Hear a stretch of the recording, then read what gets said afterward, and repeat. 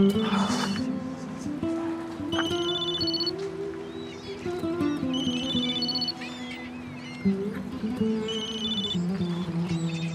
Seyit.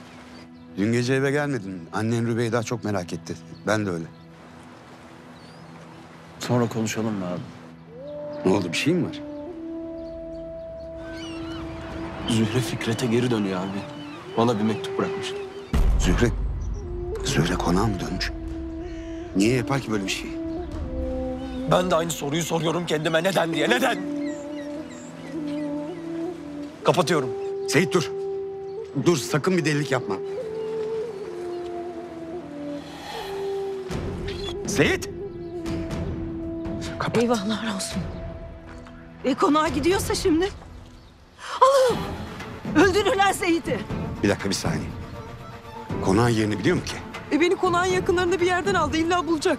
Erdal Bey. Biz de gidelim durduralım Seyit'i. Tamam. Sakin olun Cevahir Hanım. Ben Seyit'i alıp getireceğim tamam mı? Bak Erdal abi konağın yerini biliyorum diyorum. Bırak biz de gelelim işte. Rüveyda. Sakin. Ben de biliyorum. Sakin. Sakin durmaya çalışın. Ben alıp getireceğim Seyit. Sakın.